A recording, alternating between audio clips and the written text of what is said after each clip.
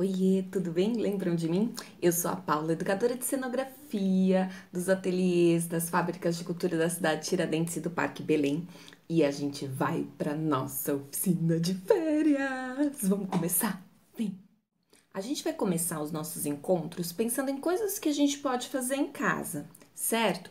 E aí pensando também como que a gente pode aproveitar papéis para criar objetos, objetos que possam ser úteis. E aí eu vou ensinar para vocês uma técnica que eu gosto muito, que é do origami modular. Vocês já ouviram falar desse origami modular? Tem vários tipos de possibilidades de pecinhas. Eu vou ensinar hoje como faz esta pecinha aqui. Olha que bonitinho, gente. No fim das contas, eu criei um cachepô para o meu cacto. Não, uma graça, que também pode ser um porta-lápis. Eu vou até tirar minha florzinha daqui para vocês verem como é que ele fica em todos os lados. Ixi, espera aí que meu cachimbo tá entaladinho aqui. Para ele não desmontar, deixa eu tirar com cuidado, porque aqui não tem nada colado. Aqui é tudo encaixado.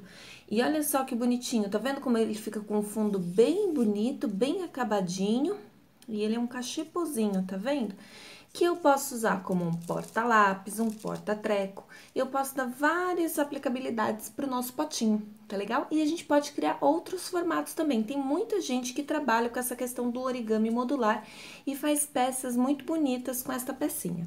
Vou ensinar como faz. Olha só que legal, se a gente pegar uma folha de sulfite tamanho A4, ela vai gerar pra gente 32 pecinhas deste tamanho assim, ó, retângulos de papel, que vão ter aqui, ó, ele tem aproximadamente 5 centímetros assim e 3,5 aqui. Então, ele é um retângulozinho de 5 por 3, tá? Como é que eu vou fazer este retângulozinho? Eu vou pegar um papel sulfite, vou dobrar no meio, pontinha com pontinha. A gente dobra bem certinho, vai lá, dobra, dobra, dobra, dobra, tchum, tchum, tchum. E aí, a gente vai dobrar isso no meio novamente. A gente tá só marcando o papel, que depois a gente vai cortar, tá legal? E a gente vai dobrar mais uma vez ainda, olha só, certo? Então, a gente fez essa sanfoninha aqui de papel, bem vincadinho, bem dobradinho, certo? E a gente desdobra, olha quantas marquinhas a gente tem, tá vendo? E aí, agora a gente vai dobrar a nossa folha na outra direção. Então, eu vou juntar de novo pontinhas com pontinhas. Vou juntar e vou fazer a mesma coisa que eu fiz da outra vez. Vou dobrar no meio novamente, certo? Dobrei novamente, juntei, vinco bem, apoia na mesa para você conseguir dobrar direitinho. E olha só, tá vendo? Quando eu passo bem na mão aqui a unha, vinco bem, quando eu desdobro, olha, eu tenho a marca, vocês estão vendo a marca no papel? Olha quantos tracinhos eu tenho aqui marcado. Aí, o que, que eu vou fazer? Vou pegar minha folha demarcada, vou juntar outras folhas aqui embaixo, vou pegar minha régua. Se você tiver, vamos usar o estilete, certo? Se não tiver, a gente faz com tesoura. Talvez demore um pouquinho mais, mas dá pra fazer também. E aí, a gente vai recortar todos os nossos retângulozinhos, para que a gente tenha muitas pecinhas. Precisa de muita pecinha pra gente conseguir fazer cada um desses, tá legal? E isso é um trabalho que a gente pode ficar fazendo, vendo novela, né, fazendo coisas ali, às vezes a gente tá dentro do ônibus. Eu fazia muito origami quando eu tava na escola, na minha época de adolescente. Eu ficava fazendo origami dentro da sala de aula. Enquanto o professor tava explicando, eu tava fazendo. E olha só, eu tava prestando atenção no que ele tava falando e ainda tava fazendo dobradura.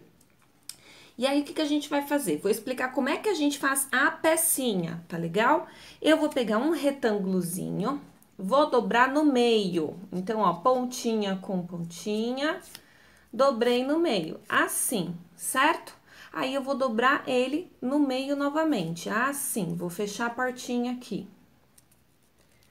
Dobrei no meio novamente, muito bem. Vou abrir, agora eu vou descer aqui nesta linha tracejada, a nossa marquinha, como se a gente fosse fazer um telhadinho de uma casa, tá legal? Fiz o meu telhadinho, vou virar minha pecinha do outro lado, tá bom? Vou dobrar esta pontinha de cá, vou mostrar como dobra e vou mostrar pra vocês a dobra. Dobrei, dobrei, tá quase um coração, olha só. E aí, eu vou dobrar essa partezinha para baixo e a outra também. E para finalizar, eu dobro novamente no meio.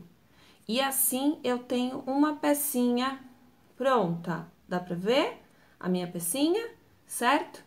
E aí, qual que é a nossa brincadeira? A nossa brincadeira é que se a gente olhar a nossa pecinha e a gente olhar as costas da pecinha, tem dois buraquinhos aqui, ó. Um aqui e um aqui, certo? E é aqui que as nossas outras pecinhas vão sendo encaixadas, olha só.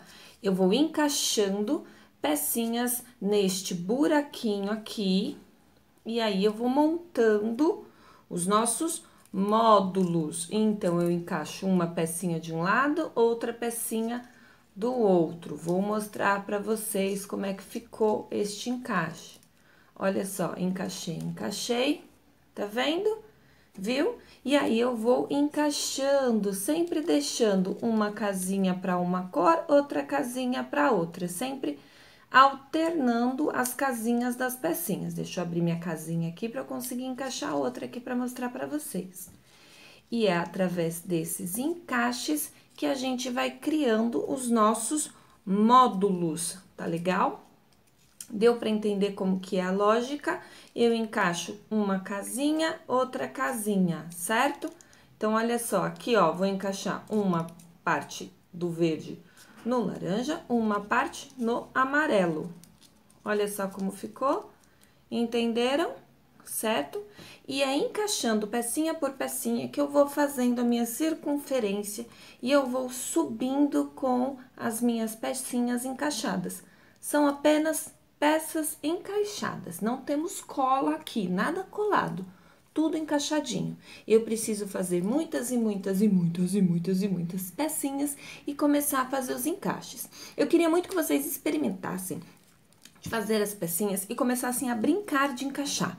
E aí vocês iriam me mandar as coisas que vocês estão conseguindo montar. Que estruturas vocês estão conseguindo montar ao encaixar as pecinhas? Vocês conseguiram fazer um círculo? Vocês conseguiram fazer um cachipozinho como este, será? Dá para fazer também animais, outros tipos de peça. Eu queria muito ver o que vocês conseguem produzir a partir desta pecinha de origami modular. Combinadinho? E aí depois a gente vai falar sobre outros tipos e outras possibilidades de peças que também tem a ver com origami modular. Combinado? Então eu espero vocês e eu quero ver o que vocês estão produzindo. Beijitos! Tchau!